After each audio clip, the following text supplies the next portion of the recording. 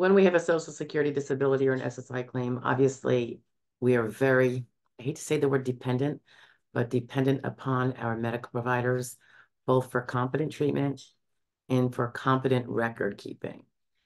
And both are obviously super important um, to the claim and to your health, really. So have a situation where a person is inquiring what to do um, with a difficult provider. So by difficult, um, she's referring to uh, rude, uh, a rude office. Um, and to be a little bit more specific, um, it was like a therapeutic type of medical provider. Wasn't the primary care, and it wasn't an orthopedist or anything like that. And it was someone she went to regularly, but then for various reasons had to stop, you know, could have included um, financial copay. So stopping, when I mean stopping, I mean like for six weeks um, and then returned. Um, maybe needed money for copay, transportation, that kind of thing. So, you know, when you get to a, a medical office and they apparently treat treat a person coldly when they haven't shown up, um, not like they were a no-show, just didn't schedule a new appointment for a number of weeks.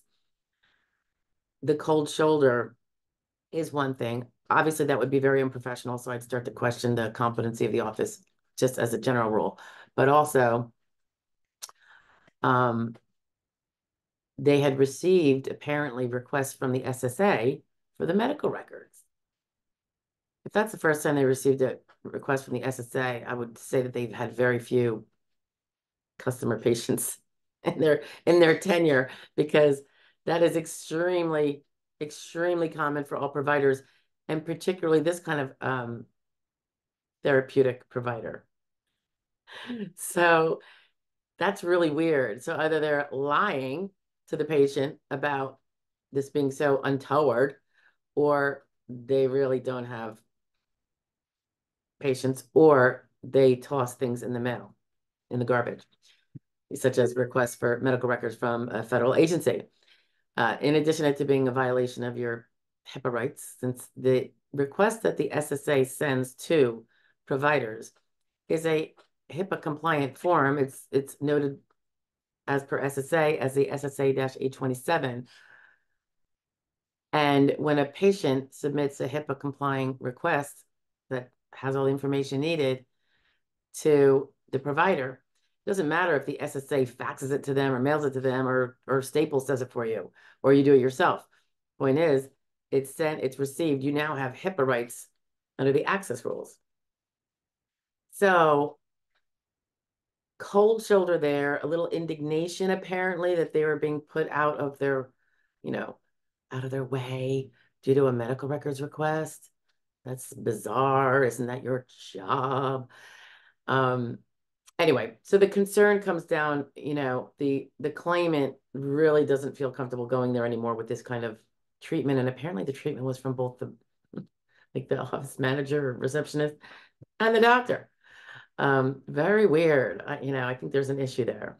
But so the question was getting to it, can that office hurt her case if she stops going there? Um, I, would have to say, if you're uncomfortable with a medical provider and their competency, get out, run and don't turn back. Um, can they hurt your case? Well, and this is where I'm going to talk about using diplomacy. They don't have to know you're running and not looking back. You know, don't wear your agenda on your sleeve. Um, they haven't sent the medical records yet. You want to urge them to do that. Um, you know, if if it means sending your own records request to them separately and aside from the SSA request, perhaps. Um, in fact, that's probably what we'll do. But also,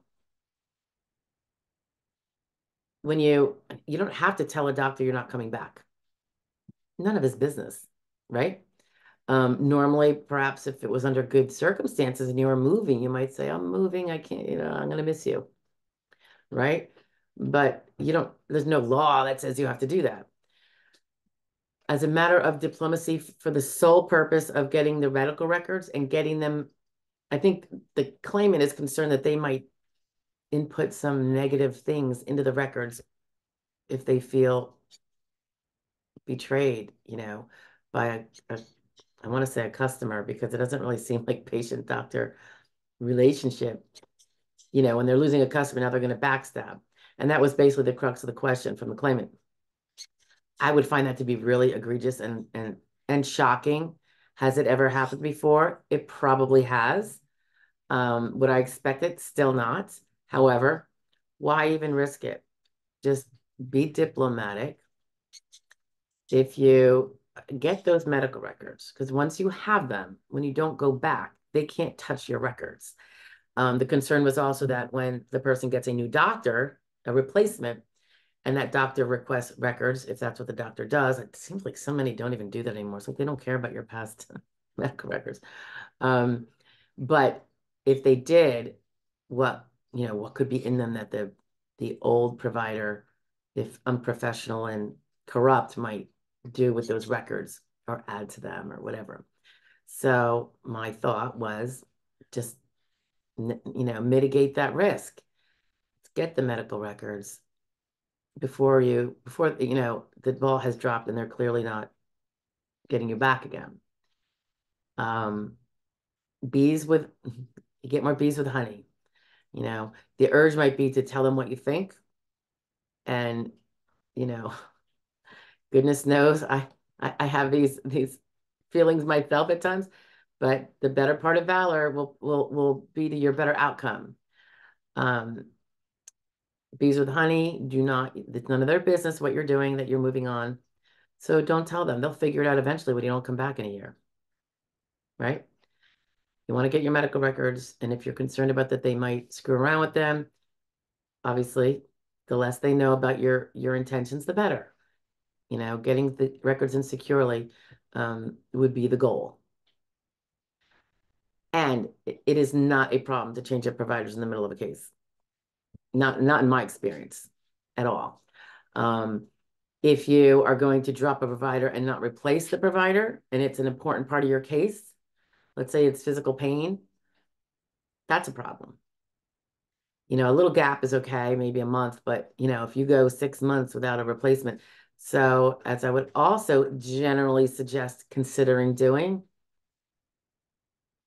immediately replace the doctor. It might take you months to get the next appointment. If you're not worried about competent treatment, just don't like the attitude of the prior office, maybe have another visit, you know, to fill in that gap time. And again, that's if you're not concerned, you know, with safety if it's more of a can't stand their bloody attitude, you know, feeling and you cringe every time you got to go in there. Um, that's really a personal choice. So I'd leave that up to you, um, how much you can tolerate. But yeah, I mean, if, if a doctor's office is complaining about providing medical records to the SSA when the SSA sends them, the unprofessionalism in that entire interaction is mind blowing to me. It's just crazy. So right there, I probably wouldn't want to be treating um, with a facility that just doesn't get it. You know, the claimant is under the suspicion that it's really all about the money, and the negativity was because she hadn't been producing money for them in six weeks. Um, that's that's pathetic. Obviously, I mean, do they do they have no no customers? And if so, why why might that be? I mean, they're medical providers, it seems really hard for them not to be overwhelmed with with patients.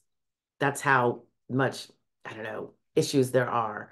Um, so either they are losing perhaps all of their customers because of their behaviors or competency or, or something else, who knows? But it's a really strange scenario when both the office staff and the actual doctor behave so incredibly poorly.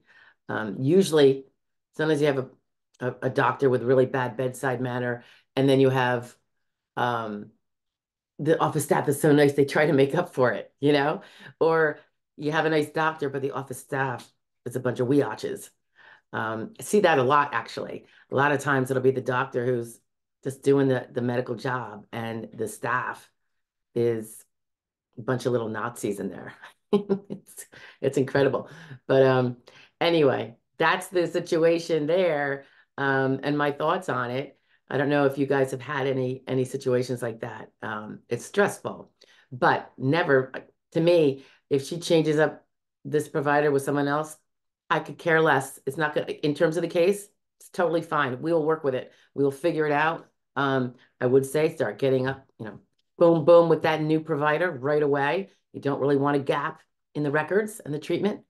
Um, and then once you're settled with a new one and you have those medical records from the old one, ideally, um, kiss them goodbye. All right. Not really kiss them, but you know. All right. I'll talk to you later. Bye.